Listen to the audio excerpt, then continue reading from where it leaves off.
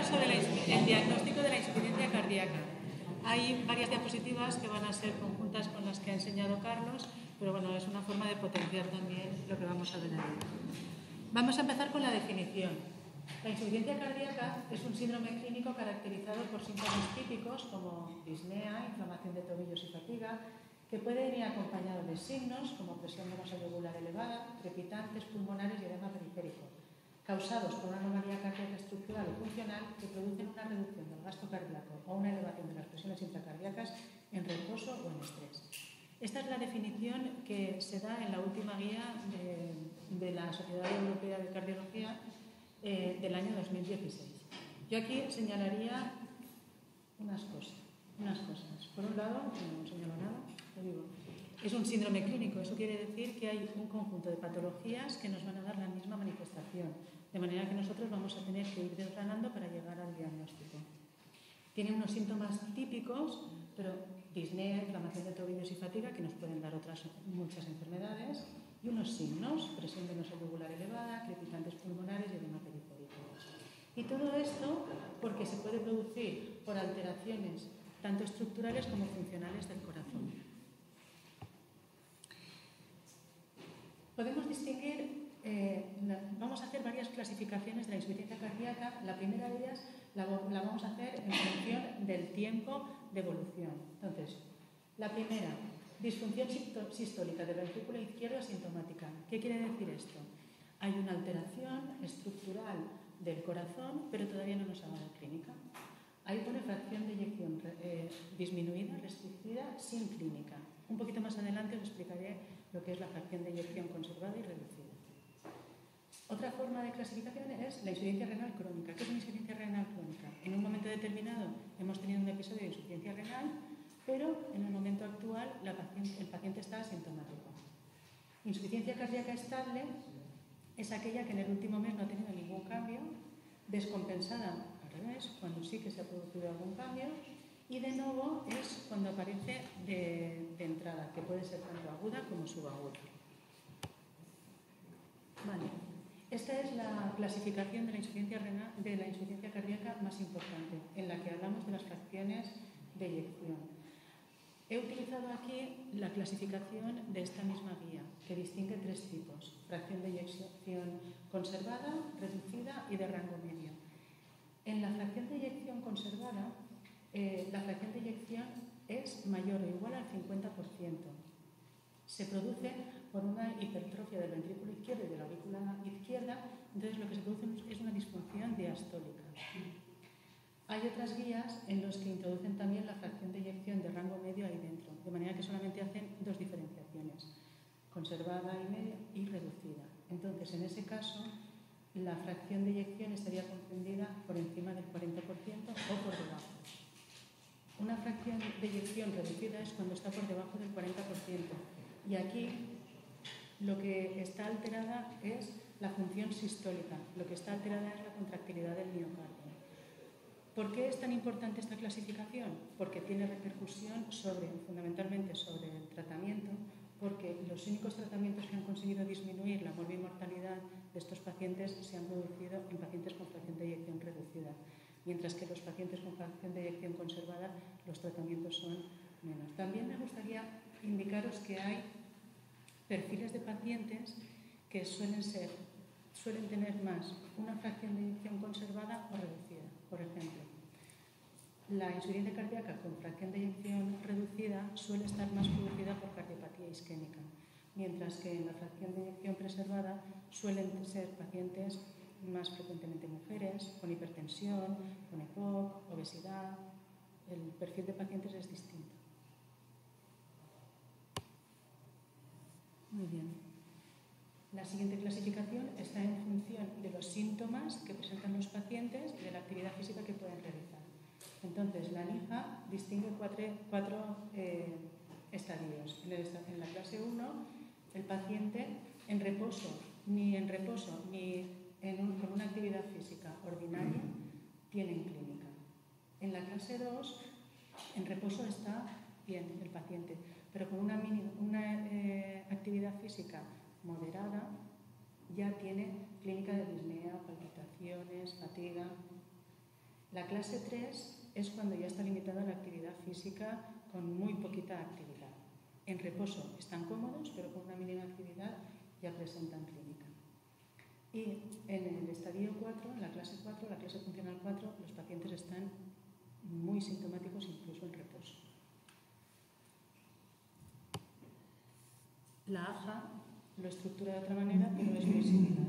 Entonces, el estadio A tenemos riesgo de insuficiencia cardíaca, como ha dicho antes Carlos, nosotros tenemos una serie de datos que nos hacen sospechar que un paciente puede llegar a desarrollar una insuficiencia cardíaca. Pero en ese momento no hay ni alteración estructural del corazón ni el paciente presenta clínica.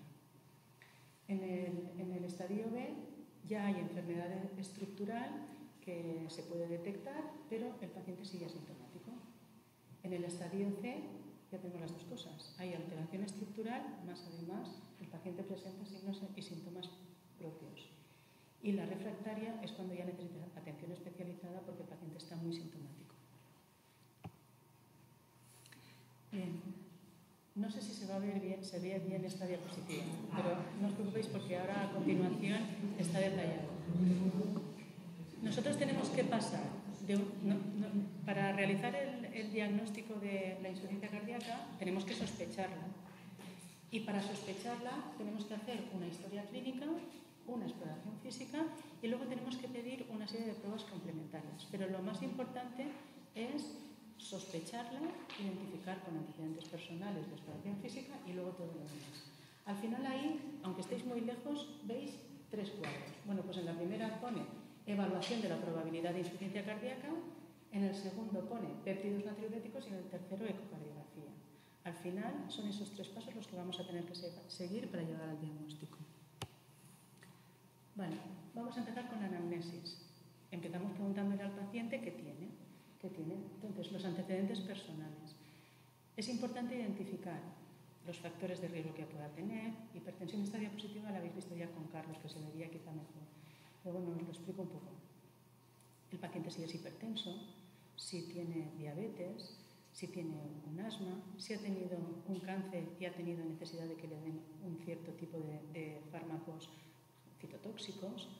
Eh, las enfermedades reumatológicas ahora están utilizando muchísimos fármacos inmuno, eh,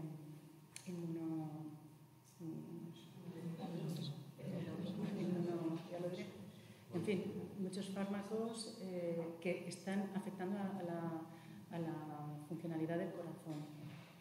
También tenemos que, que, pensar pacientes que puedan tener antecedente de una taquicardia, una fibrilación auricular, pacientes que hayan podido tener una eh, isquemia coronaria. En fin, hacemos una valoración de los antecedentes personales del paciente. Una vez que lo tenemos identificado, ya los antecedentes, vamos a preguntar por disnea, ortomnea, disnea paroxística nocturna y la ventomnea. Esto, cuando los pacientes ya están entrenados y les hemos explicado qué son todos estos síntomas, sí que te lo pueden identificar, pero al principio es bastante difícil. La ortomnea es la, clínica de fatiga que se produce cuando el paciente se acuesta en horizontal, en la cama. La disnea paroxística nocturna es cuando el paciente se despierta muy agobiado de madrugada y la ventomnea es la disnea que se produce cuando el paciente se agacha hacia adelante, por ejemplo, a abrocharse los zapatos. Estas, estas, eh, esto se puede explicar porque además eh, yo creo que todos tenemos de esos pacientes que no paran de venir. Es que se pone muy nerviosa de noche, no puede dormir, está agobiada, se pone atacado, molesta al familiar, molesta a todo el mundo, acaban viniendo muchísima urgencia. Bueno, tenemos que intentar delimitar si estamos hablando de una ansiedad o en algunos casos de una disnea paroxística nocturna.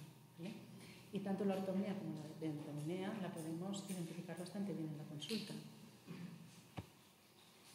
Importante el tiempo de evolución de los síntomas, desde cuándo le está pasando lo que está pasando. El dolor torácico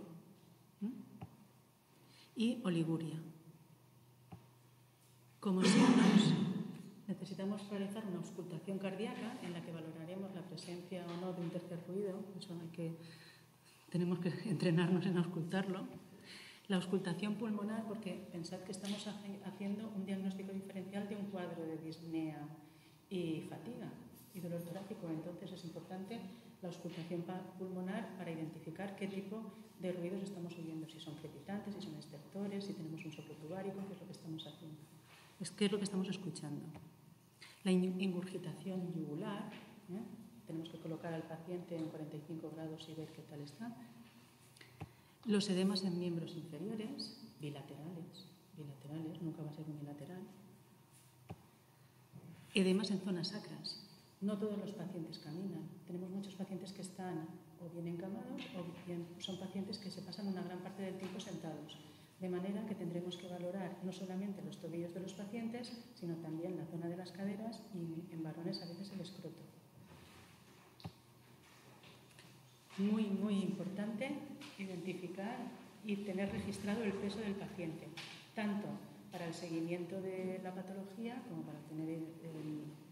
Porque sabéis que el tratamiento, una gran parte son los diuréticos y podemos valorarlo y, a través del peso. La tensión y la frecuencia cardíaca, tanto para saber cómo podemos eh, la mayoría de los fármacos que vamos a utilizar en su tratamiento van a producir una hipotensión. Entonces tenemos que tener identificada la tensión arterial de, la que parten, así como la frecuencia cardíaca, porque tendremos que titularla tendremos que identificarla también para poder ir titulando parte de los fármacos que vamos a utilizar en su tratamiento. Bueno, ya tenemos la primera parte del cuadro que hemos visto antes. Anamnesis, exploración física y vamos a pasar a los péptidos. Los péptidos natriuréticos son los únicos que tienen evidencia A en el diagnóstico, pero no evidencia A porque son, eh, tienen una evidencia A porque tienen un, valor predictivo negativo muy alto. ¿Qué significa eso? Que es muy poco probable que haya una insuficiencia cardíaca con valores de péptidos natriuréticos elevados. Entonces, tanto hay BNP como ProBNP, a nosotros nos ponen el ProBNP, y son muy útiles en el diagnóstico diagnóstico diferencial y en el pronóstico, pero no son útiles en el seguimiento de los pacientes. ¿eh? No podemos titular cómo está yendo un tratamiento con el, con el BNP. ¿Por qué son valores pronósticos? Porque nosotros sabemos que a mayor valor del BNP en el momento del diagnóstico, peor pronóstico tiene el paciente. Acordaros, por favor, que es el valor predictivo negativo, o sea que una disnea con un, con un BNP normal muy poco probable que sea una insuficiencia cardíaca. ¿Qué valores vamos a pedir en la analítica? La glucosa y la hemoglobina glicada, porque, como hemos dicho, necesitamos tenerlo eh, filiado al paciente con los antecedentes personales. La función hepática. Si hay un cuadro de congestión venosa, puede haber una congestión hepática. Función renal con iones sodio y potasio tanto para saber de qué situación basal partimos como para saber hasta dónde podemos llegar con los tratamientos que nosotros le vamos a poner. Hemograma y ferritina. Carlos ya nos ha hablado extensamente del tema de la ferritina. La TSH como causa de insuficiencia cardíaca y el perfil lipídico que lo necesitamos en todos nuestros pacientes cardiológicos. La placa de tórax tiene un nivel de evidencia C, quizás sea más importante en el, cuadro de insuficiencia cardíaca aguda porque podemos ver la congestión vascular. Sin embargo, es muy importante y fundamental tenerla para hacer el diagnóstico diferencial de la disnea. Y tener en cuenta que en la disfunción sistólica puede que no exista cardiomegalia. El ecocardiograma, en definitiva, es la prueba de elección para tener el diagnóstico. ¿Qué es lo que nos va a aportar el ecocardiograma? Pues nos va a hablar sobre las fracciones de eyección, que como hemos dicho, nos va a diferenciar los dos tipos de insuficiencia cardíaca, que luego va a determinar el tipo de tratamiento que le vamos a dar al paciente, el grosor de las paredes y del, corazón y si existe o no hipertensión pulmonar. Mide la función miocárdica tanto en sistema como en diástole del ventrículo derecho y del izquierdo y la disfunción diastólica, que es la que se produce en la insuficiencia cardíaca con fracción de eyección conservada. La ecotransesofágica es la técnica de elección, pero no se hace de forma rutinaria, solamente en aquellos casos en los que es fundamental para tomar un diagnóstico, perdón, para poner un tratamiento determinado. Siempre deberemos realizar un electrocardiograma de 12 derivaciones, porque aunque cualquier alteración es posible, es bastante raro que una insuficiencia cardíaca se presente con un electrocardiograma perfecto. Es muy poco probable. Y luego nos va a servir tanto para monitorizar el tratamiento como que allí nos puede detectar también la causa que ha desencadenado esa insuficiencia cardíaca, o bien una taquiarritmia, una cardiopatía isquémica, lo que sea. En algunas ocasiones es necesario realizar una resonancia mm, nuclear magnética, porque mide muy bien los volúmenes, las masas y la fracción de eyección fundamentalmente del corazón derecho, que a veces en la ecocardio les puede resultar más difícil. Voy a centrarme un poquito en la insuficiencia cardíaca con fracción de eyección conservada.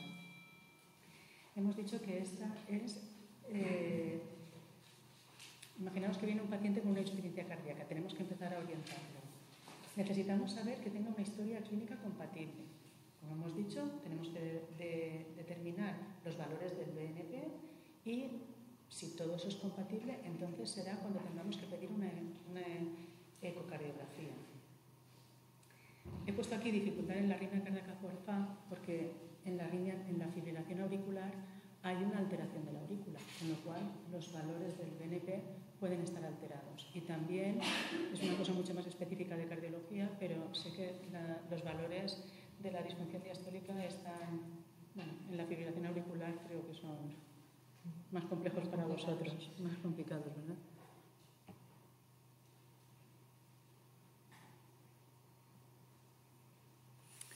Vamos a hablar ahora un poquito de insuficiencia cardíaca aguda.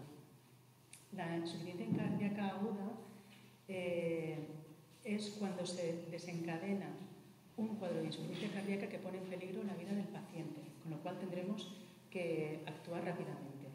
Básicamente son de nuevo muy, muy importantes las isquemias. los problemas de cardiopatía isquémica pueden desencadenar una insuficiencia cardíaca de nuevo pero también tenemos que estar eh, muy atentos a las reagudizaciones de una insuficiencia cardíaca por situaciones que algunas veces, si estamos eh, pendientes de los pacientes, les podemos avisar, les podemos decir que identifiquen ciertos signos, los síntomas que vayan teniendo, podemos adelantarnos a esa, a reagudización. Por ejemplo, las infecciones respiratorias. No vale que un paciente que tenga un antecedente de insuficiencia cardíaca crónica tarde no sé cuánto en ir a consultar porque se ha resfriado. Las vacunaciones ahora en la época de la gripe, evidentemente no pueden prevenir que tengan una arritmia, pero sí que podemos incidir sobre el, incumplimiento terapéutico o de la dieta o de los fármacos que nosotros le podemos dar para ciertas situaciones concomitantes de ese paciente que pueda tener. En el momento en que aparece el paciente con una insuficiencia cardíaca, tenemos que identificar muy bien la situación en la que se encuentra. La tensión arterial la tenemos que controlar siempre, yo creo que esto se hace. Quería resaltar, bueno, cuando un paciente se presenta con una tensión arterial sistólica por debajo de 90, tiene un pronóstico muy malo, tenemos que correr más. Y aquí os he hecho una clasificación que viene también en la guía, diferenciando un paciente húmedo o seco con frío o caliente en función de los síntomas de congestión y de la perfusión periférica que tenga. Lo vais a ver un poquito más claro en una diapositiva que viene después. En el caso de una insuficiencia cardíaca aguda, las pruebas que tenemos que pedir son exactamente las mismas que cuando sospechamos una eh, que es aguda o una, en un paciente con una insuficiencia cardíaca crónica, excepto, he apuntado aquí abajo el número D, porque el tromboembolismo pulmonar es una causa de disnea y de fatiga que tiene que entrar en el diagnóstico diferencial del caso. Y aquí tenemos el algoritmo, todo esto os lo pasaremos, creo yo, el, último día, os lo pasaremos para que lo tengáis, el algoritmo. Si tiene, entra un paciente con una insuficiencia cardíaca aguda, lo más frecuente en el 95% de los casos es que, que tenga un, cuadro de congestión vascular. son los que tienen los edemas periféricos, lo que tienen los estertores pulmonares y solamente lo voy a presentar porque el tema del tratamiento viene en otras, en otras presentaciones posteriores. Pero bueno, es para que sepamos un poquito que la clasificación del paciente, dependiendo de la clínica que tiene, tendrá un tratamiento u otro. Bueno, y ante una sospecha de insuficiencia cardíaca aguda, tenemos que decir, ¿Está en shock cardiogénico? Sí o no. Si es sí, vamos corriendo. Si es no, tenemos que valorar la posibilidad de insuficiencia respiratoria o intentar identificar la causa que nos ha llevado a esa insuficiencia cardíaca aguda. Un cuadro coronario, una emergencia hipertensiva, una anemia, una causa mecánica aguda, un embolismo pulmonar. Que eso ya lo hablarán en otras, en otras eh, presentaciones. Muchas gracias.